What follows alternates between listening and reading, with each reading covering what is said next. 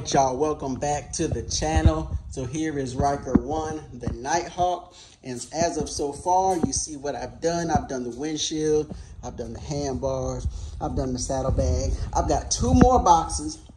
So this is another unbox and another really quick install. What I'm really loving about this can this Can-Am, this Ryker, is that everything that I've done so far has been very simple to put in. It's literally just putting in bolts so far at this point. So anyway, let's go on ahead. Let's get to the unboxing.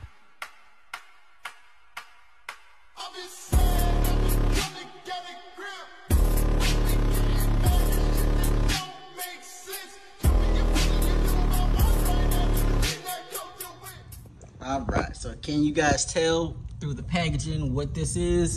If I can uh, get a better.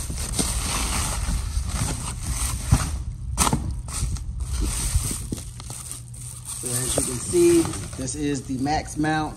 And so obviously, let's check the next box and let's see what's in here.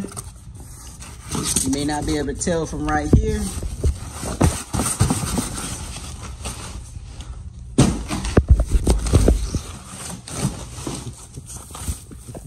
But we've also got the secondary seat. I'm gonna go ahead and call it a dragonfly tail because that's kind of what it reminds me of. So I've got the max mount, I'm gonna mount that, and I've got the extra seat. So let's get into the install. All right, y'all, so as far as the max mount, it's not even really an install. Really, this, this is one of the simplest installs ever. All you have to do is take your max mount. You're gonna basically slide it, and it's gonna you're gonna see like the um, kind of how it slots in you're gonna line it up to these holes and you're literally gonna bolt it in. And I just did this with my hand. I use a T30 uh, tip again. Just about everything is a T30 or a T15. And I slid it down and bolted it up. Now, the only thing that I really had to do was take off this other side piece. And if you have a saddlebag, which I did, I had to take it apart, put this on, and now I get to put the saddlebag back on. But literally, that was it. Four bolts and line it up with the holes.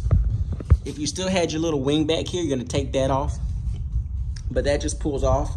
It's on there nice and slug, snug, hand tight. I mean, that's an easy install right there. All right, so I was able to put my saddlebag um, mount back on. One thing that I really love about these Can-Am products is that when you take off some of those plastic pieces, you get to replace it with a nice, strong, sturdy metal piece. And I really just like that look. I like that finish. I mean, it looks dope as hell. So I think I'm ready to put on my uh, my dragon tail and uh, let's see how that looks and let's see what that installs like. All right, y'all. So with getting the seat, that seat right there, if you look down and I've already put on the max mount, you've got two holes right here. Obviously, you have two on the other side. That's like a support. That's where a support beam is supposed to go. That's what this is. So you're to install this this way, this being on the bottom, or you can look at it with this being going towards the back. You're to sit that under there and you're to use these silver screws that they give you and tighten that down.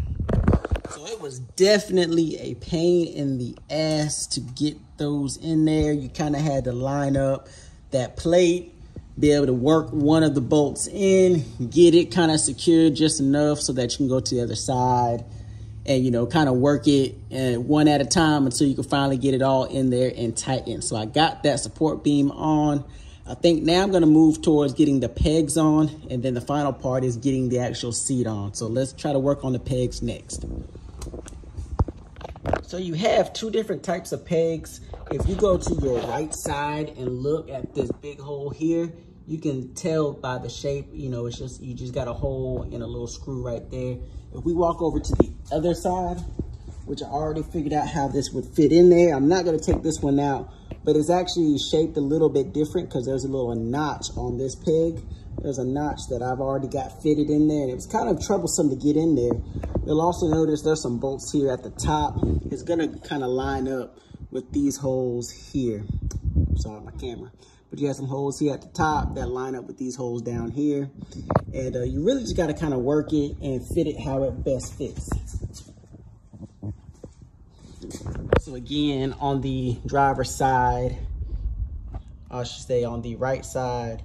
So you see how the holes are fitted here. So basically I've got two holes up top there. You see, I want to fit it like so.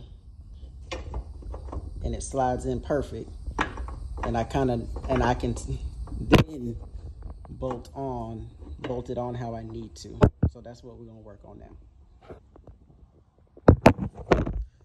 So you do get four of these little black bolts. Um, they're marked with the little blue uh, paint. And they do fit. It's kind of hard to get it, but you have a bolt there and you have a bolt there. So once you finally get your pegs fitted, uh, obviously start one bolt at a time, get one of the bolts fixed, uh, situated in there, then get the other one done. And that is the one of the secondary foot pegs and it's is ready to go. So I'm just gonna do the same thing to the other side. All right, y'all. So I finally got the pegs in. Not bad, not bad. Looks pretty good. I really like it in that stance there. Just gives the seat a really nice, aggressive look. Um, I'm not a mechanic, so I really hope I explained this stuff well. Um, if not, just let me know how I did. There's a lot of bolts, a lot of small places. I'm not real. I'm not mechanical and I'm not technical. So I'm doing all this stuff on my own, and I just hope you guys got something out of it. Um, just let me know what y'all think in the comments below. Uh, what I'm about to do now is actually put my saddle rack back on. I had to take it off like three times now. So before you put this that saddle mount on, put your damn max mount on because you're gonna have to take off this piece and you're not gonna need that piece anymore because it's basically like right there and you just need to put your saddle rack on.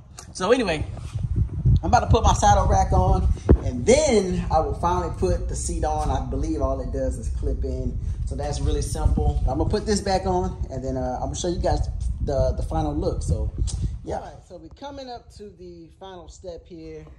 Uh, so as far as the seat goes, what I've seen so far, we're gonna see if this works or not. I'm not sure yet, but you see how it's angled and shaped. You see the shape here. I put the seat there. It looks like it, it, it sits pretty good right there.